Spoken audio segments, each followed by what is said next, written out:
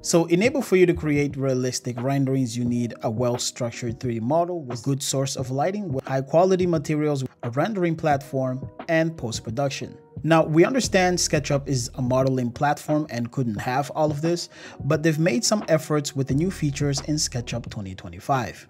So in this video, I'm going to break down my workflow on how I created these images using the new features in SketchUp 2025 and Photoshop.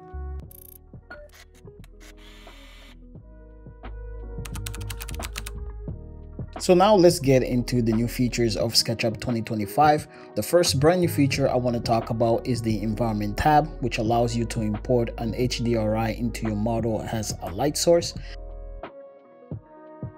So here we can try a lot of different HDRIs and you can see right there in the background of a model. So as I switch between different HDRIs, it's supposed to affect the materials in my scene and enable for you to see that we're going to turn on the next new feature which we'll go into more detail later in the video and that is the realistic materials so you want to go into style under face settings you want to click this new icon which is display for the realistic materials and now you can see that the materials are very much affected by the HDRI. For example, you can see that the ceiling reflects the green and the floor also reflects the sky of the HDRI.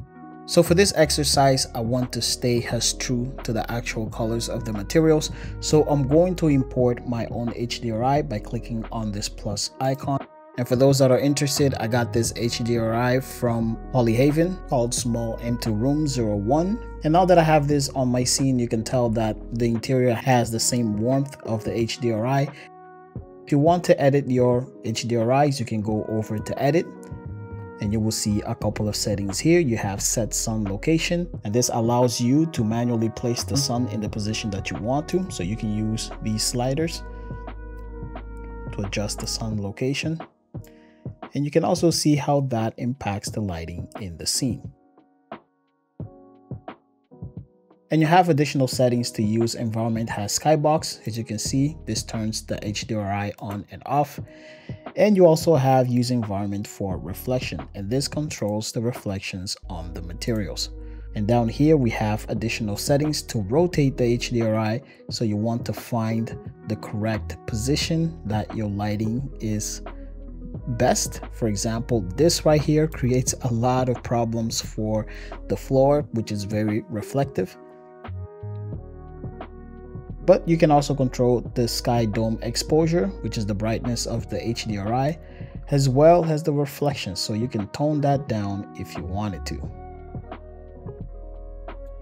So this is going to be my lighting setup. I actually changed the HDRI to Photo Studio 01 because it gives me better reflection. As you can see, this is an HDRI of a complete interior with very little overexposed areas. So I think we're okay with the lighting for now. We might do more adjustments later in the video. But the next thing we're going to look at is supports PBR materials. As you can see, everything pretty much looks a little bit flat with no reflections. And if we go over to the material tab and select this wood material, you get your typical color adjustments and size and opacity but if you scroll down you'll see that you have additional settings. So now you can adjust the metalness roughness add a normal map and an ambient occlusion. The metalness setting controls how much the material will reflect. Because this is not a metal material we're going to keep this at zero. Roughness also controls how sharp the reflections will be. So we want to have this somewhere in the middle and to add a roughness map, you want to click on this plus icon.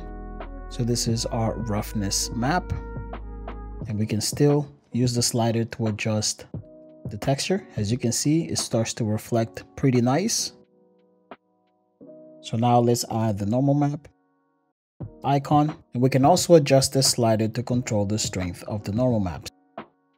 If you go too high, it starts to look very unrealistic, although this is pretty impressive for SketchUp. So let's keep this at a very low value, somewhere around there. Now for the wood table, I also like to add the ambient occlusion map as it could add some more details into the grain of the wood. And once we bring a texture in, you can see that it looks a lot darker because it blended both of those textures together. Because this is looking too strong, we're going to take down the value of the ambient occlusion.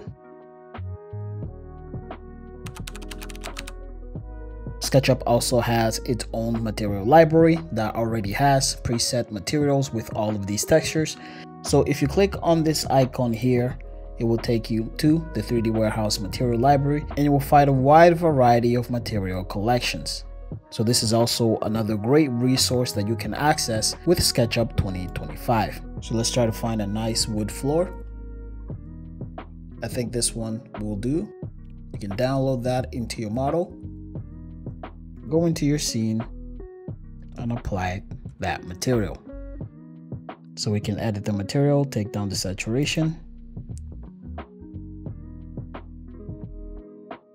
I think if you're really trying to achieve that realistic level, you're gonna have to spend a little bit of time in your materials here in SketchUp and even more in post.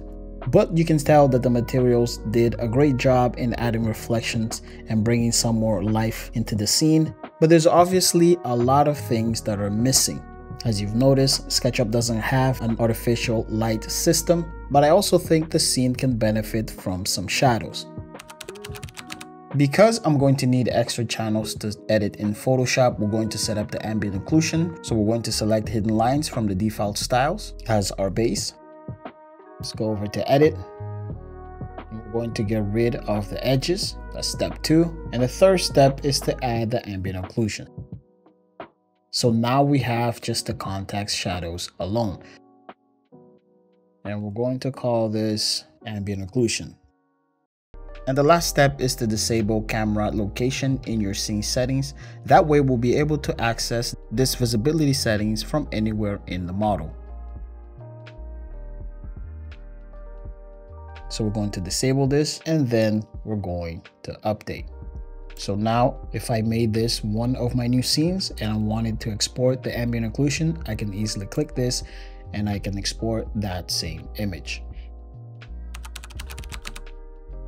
As you probably noticed, I have an IDS for ID selection channel and I did the same thing. If I click here, you get the material ID. So let me explain to you how I have this set up. At the beginning of the video, I mentioned how important it is to have everything organized by tags. But another thing you want to make sure that you do is to set all of your tags to different colors. For example, I have my architectural tags which only include door, windows, and walls, and they're set to different colors. If you go to the interiors, you see many other layers with decor and items, furnitures, and lighting fixtures, and these are going to be all of these fixtures over here. And lastly, I have a selection ID folder, which includes and any colors that sort of mix with each other. I set it on a different color ID layer. So when you switch color by tags, you're able to see all the different colors. So the next step is to disable back edges so we can have a completely flat image. And you also want to go into the shadow settings, adjust the darkness to 100 and light to 0. So with these two extra scenes set up, I can go into any of my views. I can then simply export the IDS. I can turn that on and I can also turn on the ambient occlusion separately so I can control the shadows. So now to export the renders, all you have to do is select your view, head over to File, Export 2D Graphics, head over to Options, make sure it is high resolution, and we can select Export. And without moving your scene, you will go over to the ID, save this as well. You will go into the ambient occlusion and save this as well.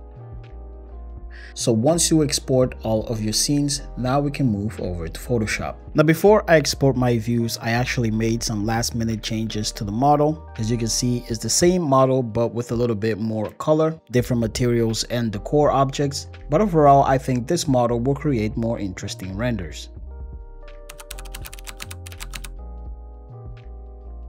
So for the post-production, we're going to follow a very simple workflow.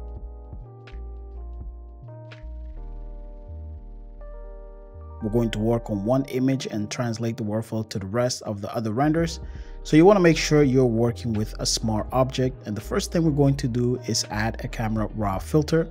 So here I'm going to adjust exposure, contrast, and highlights, as well as a couple of other settings to try and work on the contrast of the image. Additionally, I'm also going to add a bit of texture and vibrance to enhance the diffuse textures in the image as well as pop some colors. As for the details, I'm going to add a little bit of sharpening and luminance to make the image slightly sharper. And in the HSL adjustment, I'm going to adjust the hue and luminance of my greens so my color is between green and yellow. Next, we're going to work on the shadow. Make sure to organize your layers. I like putting things in groups.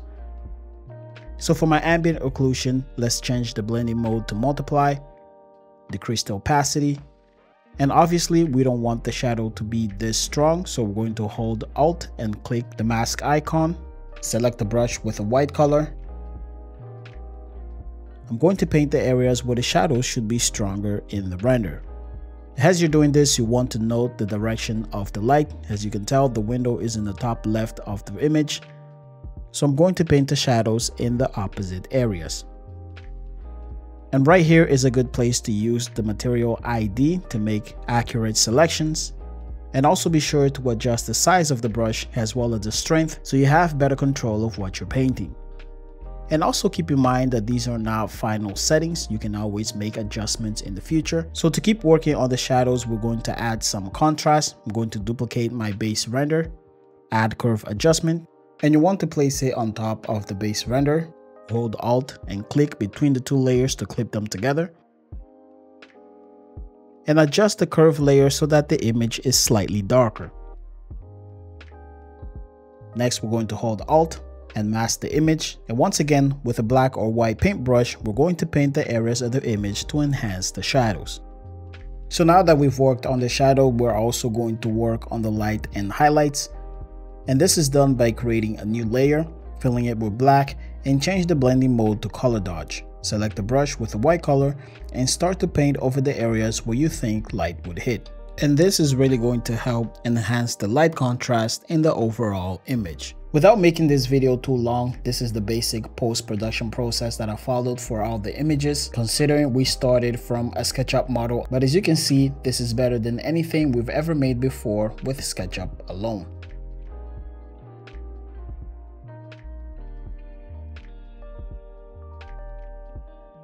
Now it's unfair to compare these to V-Ray, Enscape, D5 or Lumion because these are more stable and complete rendering platforms, but it's safe to say that this is the beginning of something special for SketchUp and I'm looking forward to new features that will complement what we already have. Now it's obvious that it will take some time for these features to mature, it would be nice if these materials could reflect itself in the actual 3D model. We could use some improved sun and shadow controls, as well as an artificial light system but this is a great start for SketchUp if their goal is to improve model representation. So what do you think of SketchUp 2025 and its new features? Do you like them? Have you tried them? Let me know in the comments section below. As always, don't forget to like, share, and subscribe. Follow us on other social media platforms, and I'll see you guys next time.